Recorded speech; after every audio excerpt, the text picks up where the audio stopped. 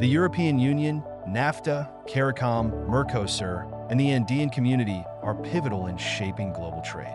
The EU fosters economic unity among its members, while NAFTA, now USMCA, boosts trade between the US, Canada, and Mexico. CARICOM promotes regional integration in the Caribbean, enhancing cultural and economic ties. Mercosur connects South American economies, facilitating trade and cooperation, and the Andean community focuses on shared development goals.